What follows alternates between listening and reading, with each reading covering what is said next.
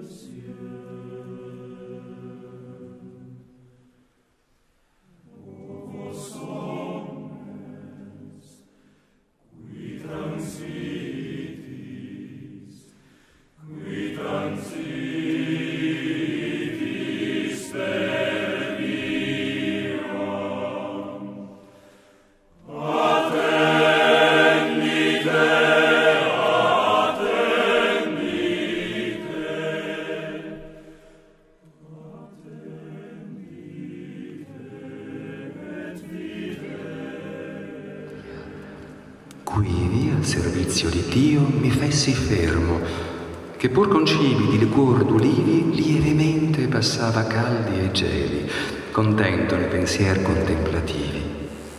Render solea quel chiostro a questi cieli, fertilemente, e ora è fatto vano, sicché tosto convien che si rideli.